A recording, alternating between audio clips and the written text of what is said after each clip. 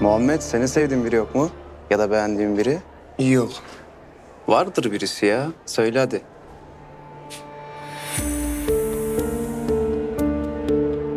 Çimen mi? Bence o da seni seviyor. Tabii oğlum sen anlamadın mı? Hep senin etrafında dolanıyor. Anlamadım. Bak ben sana anlatayım o zaman. Kızlar birinden hoşlandı mı aynı böyle çimenin sana yaptığı gibi yakın davranırlar. Sonrasında erkekten bir hareket beklerler. Değil mi?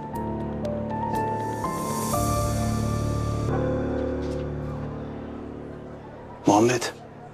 Çimen seni tuvalette bekliyormuş. E, neden? Oğlum seni seviyor dedik ya. Ne, ne yapmam lazım? Sen git tuvalete çimeni. Senin de onu sevdiğini anlayacaktır. Öpeyim mi? N- nasıl? Bildiğin git öp işte. Yoksa kız nereden bilsin senin onu sevdiğini? Hadi hadi hadi.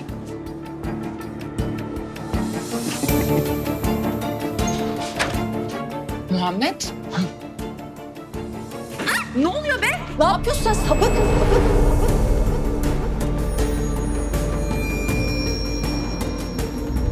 Çocuklar ne oluyor burada? Hocam bir anda gelip çimeni sıkıştırdı. Ben Ne yapıyorsun evladım?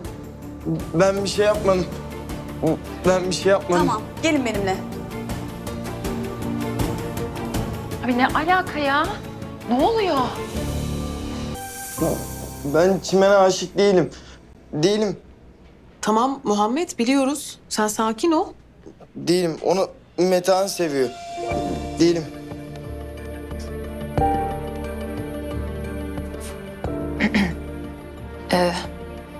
Muhammed sana bunları kim yaptırdı? Gökalp git çimeni öp dedi. Dedi. Dedi. E, Muhammedciğim bir yanlış anlaşılma olmuş. Senlik bir durum yok yani. Ben halledeceğim bu durumu. Gökalp'le konuşacağım. Benlik bir durum yok. Pislik yok Alp ya. Çimen lütfen. Ne? Haksız mıyım? Pislik. Sen şimdi Muhammed'i al çık. Ben Gökalp'le konuşacağım.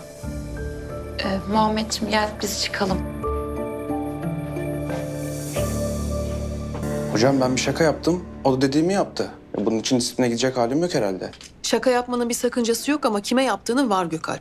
Sen Muhammed'in özel bir durumunun olduğunu bilmiyor musun? Hocam ben ne bileyim böyle yapacağını. E, ceza mı alıyorum şaka yaptım diye? Hayır, almayacaksın ama lütfen bir daha bu tarz şakalar yapma. Arkadaşlarını da bu konuda uyar. Eğer bu bir daha tekrarlanırsa disipline gidersin.